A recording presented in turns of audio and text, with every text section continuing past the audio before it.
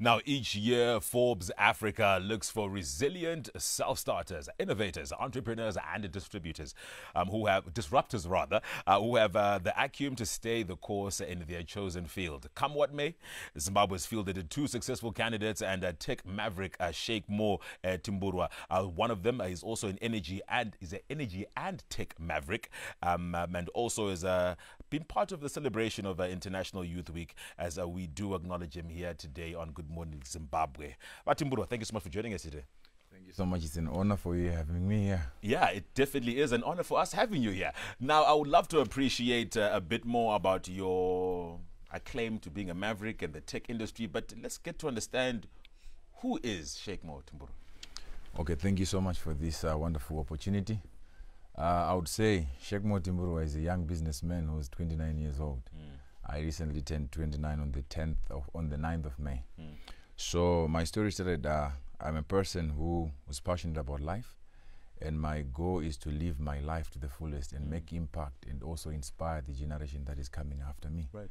That's that's basically me, and uh, I stand for integrity, and I also stand for the furthering the furtherance of our country, Zimbabwe, and also making sure the narrative of Africa is recognized worldwide and globally. Right. So basically, that's me, and that's my story. Briefly tell us a bit about where you grew up, your childhood experiences, but more importantly, how you found yourself engaging in the passion that you have just shared. Okay.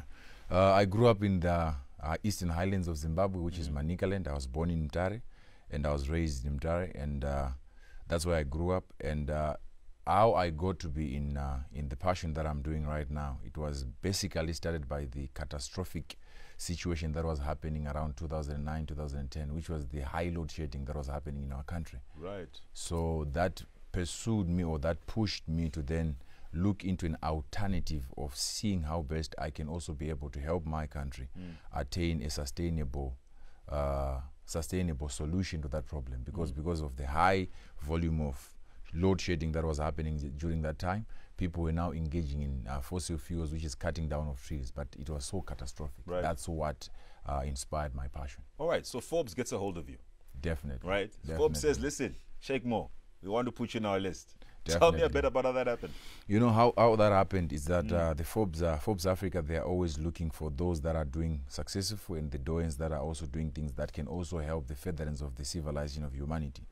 So I think my leverage was uh, the business that was listed in the Forbes is mainly trying to solve the humanitarian problem, which is the energy crisis Right. and our goal is to make sure my goal is to make sure africa is not left out on the agenda of having clean energy so i always call it cape to cairo dream Right. if someone could uh, could do cape to cairo dream like our own mr strive masiyiwa is connecting the whole continent to liquid africa to liquid uh, internet Right. why can't we also do the same to connect the whole of africa to clean energy that's Right. possible Okay. and that's my dream I want to know what your thought on this, yeah. Um, Sure. There were rumored reports that came in a, a while back on uh, the Senegalese American-based uh, artist Akon, if I'm not mistaken, who came up with this uh, uh, ama- amazing idea where he uh, uh, electrified a whole uh, collective, and that seems to be a step in the direction that we're seeing people moving towards our energy. definitely. What's your take on that initiative that he has put in place? But more importantly, how have you applied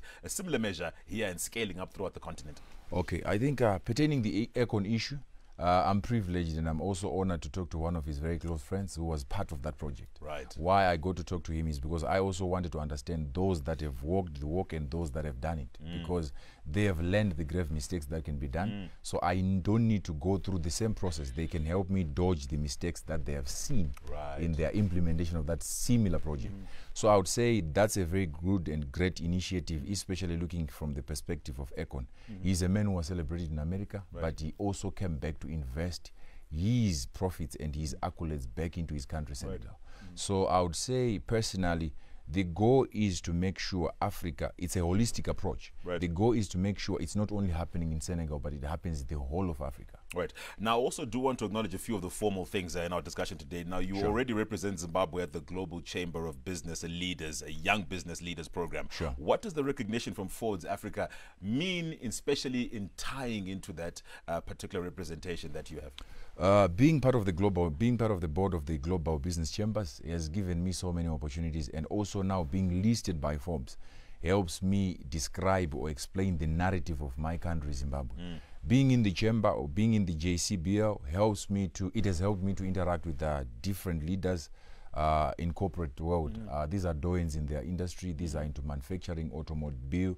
We talk about mining and commodities. We talk about the people that are willing to also inject in the African continent. So now being on the Forbes list helps me to also acclaim the narrative of Africa, especially my country, Zimbabwe. Right. Okay. Yes.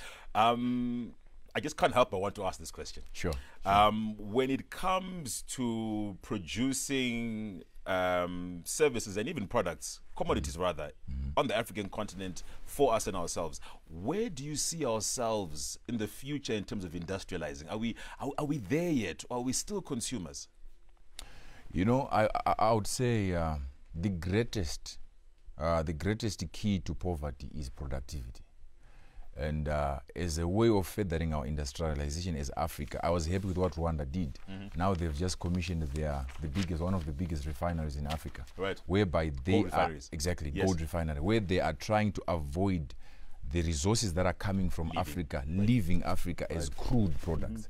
They want the value chain to happen in Africa, which is what is very key to the continent of Africa. We have got so many resources that are being exploited from Africa and they are being developed outside of Africa. Right. And when they come back, they are double the price. They are 10 times the price of how much we can be buying them. Right. I'll give you a very good example. In Africa, we don't have a well cutting and polishing diamond institution. Our diamonds are taken into Belgium. Sheikh, don't get me started. Definitely. Don't get me started. This interview won't end. Yes. But um, uh, if anyone wants to get a hold of you, um, do you have any social media platforms that you can share before we wrap up our discussion? Yeah, sure. Uh, they can see me on Facebook. I've got a page called Sheki Timburwa, and also on Instagram, it's Sheki World. On Twitter, it's S Timburwa, and on LinkedIn, it's Sheki Timburwa. All right. Those also, thank you so much uh, to my guest uh, here in studio, uh, Mr. Sheikh Mo Timburwa managed to make his way onto the Forbes uh, under 30 list, and we definitely will be giving you more updates on his developments as we engage.